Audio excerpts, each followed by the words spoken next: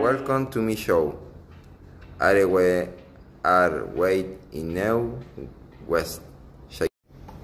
Hello, thank you very much for inviting me to your show.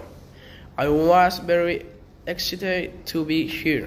Likewise, we're very excited to have you are tell us about your experience in the United States. It was good because it's visit many places and bad because.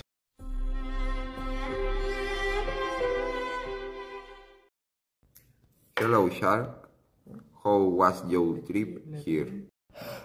Hello, it was very good and comfortable. I'm glad, but let's move on to we your Yes, let's go to the chase. watched your videos and you're really good. Honestly, that's when will catch you. Checa entrenando con el equipo de Estados Unidos en 1996.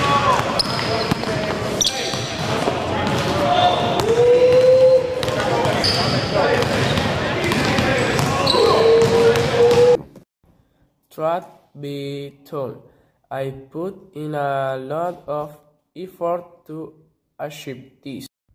You can very good, but the question is, do you know how to speak in English?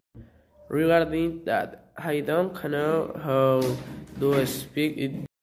But remember, is an American university. I cannot, but I came for basketball, not for English.